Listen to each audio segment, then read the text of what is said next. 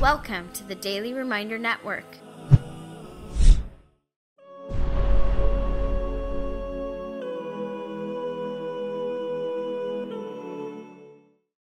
It's become so, so cheap to sin, really. So free.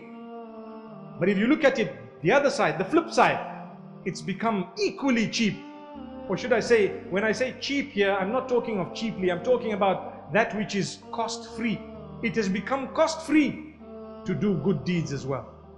You can do a lot of good deeds. So many beautiful messages, lovely clips, mashallah. People are sending reminders to one another. Reminder, my brother, do good. My sister, do good. Mashallah, tabarakallah. You have the daily reminder. You have so many other different platforms. Mashallah. Whatever you want, you can see, you can listen. Different people use different platforms for different reasons.